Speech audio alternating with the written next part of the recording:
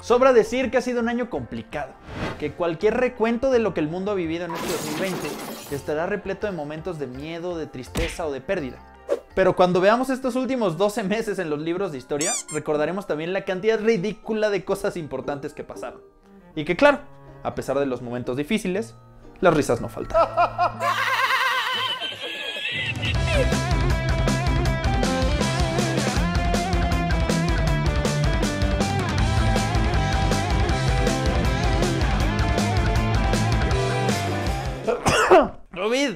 Pero bueno, basta de introducciones que tenemos el tiempo contado. Este es un resumen de los momentos que marcaron al 2020. Empezamos el año con puros memes de la Tercera Guerra Mundial, después de una serie de encontronazos militares entre Estados Unidos e Irán por el asesinato del general Qasem Soleimani. En ese mismo mes vimos las declaraciones de emergencia por los incendios en Australia, los sismos en Puerto Rico, las manifestaciones en Hong Kong y la explosión de un volcán en Indonesia. También se nos fue Kobe Bryant y el Reino Unido se separó oficialmente de la Unión Europea. En febrero empezaron fuertes las noticias pandémicas. Cuando había menos de 50.000 casos confirmados, la Organización Mundial de la Salud bautizó oficialmente como COVID-19 a esa enfermedad causada por un coronavirus que apenas íbamos conociendo. En esas mismas semanas, la surcoreana Parasite ganó el Oscar a Mejor Película, los Kansas City Chiefs ganaron el Super Bowl y J-Lo y Shakira conquistaron el medio tiempo. Hablando de deportes, en ese mes fue cuando se pospusieron los Juegos Olímpicos de Tokio de 2020, cuando metieron en la cárcel a Ronaldinho por falsos, y cuando se empezaron a frenar todas las ligas deportivas y los eventos masivos de entretenimiento. El 8 de marzo, el mundo se detuvo para escuchar las protestas contra la violencia machista, la desigualdad de género y la opresión que sufren las mujeres, cuando una plaga de langostas llegó a África y cuando empezaron oficialmente los encierros en todo el mundo. Abril fue un mes rarísimo. Mientras la gandallez de Lady Rata dominaba las redes sociales, el mundo se entretenía con canciones en los balcones. ¿Tú no, Santa Fe? Perdón, no pude evitarlo. Haciendo conciertos en streaming y por supuesto con el estreno de The Last Dance, la serie documental que nos recordó la grandeza de Michael Jordan. Y en esos meses Facebook estrenó la reacción de Menoport. También la economía mundial se puso de susto cuando por unos cuantos días el precio del petróleo quedó en números negativos. Empezamos mayo con la noticia de unos avispones asesinos y la reaparición de Kim Jong-un, el líder norcoreano después de varias semanas de especulaciones sobre su delicado estado de salud.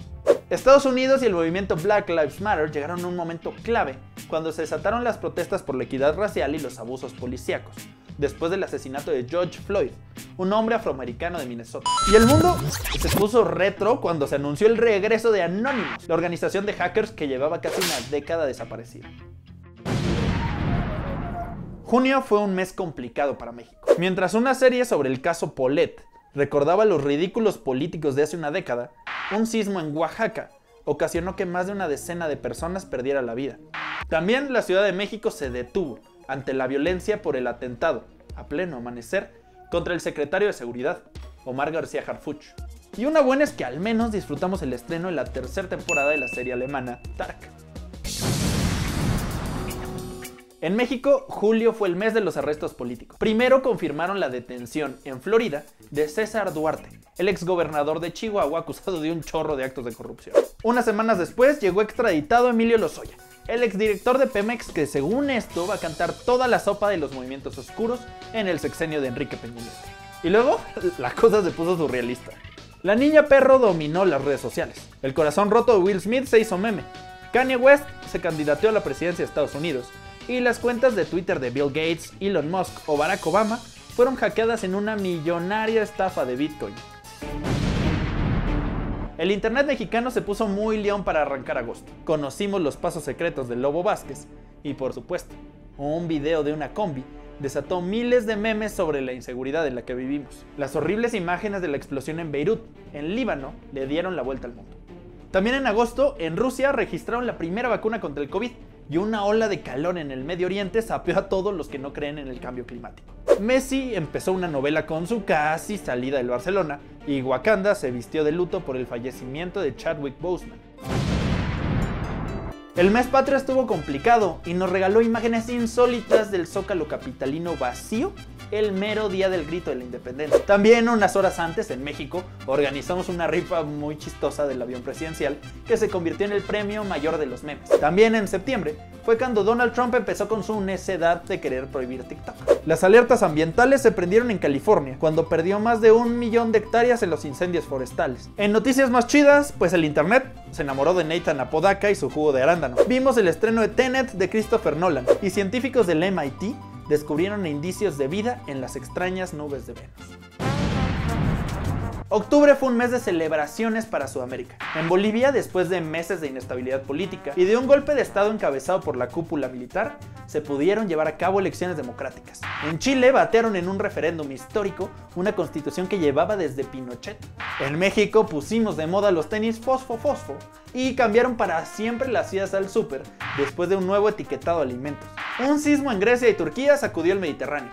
El líder del culto sexual Nexium fue sentenciado a 120 años de cárcel y unos científicos de la NASA encontraron indicios de agua en la Luna.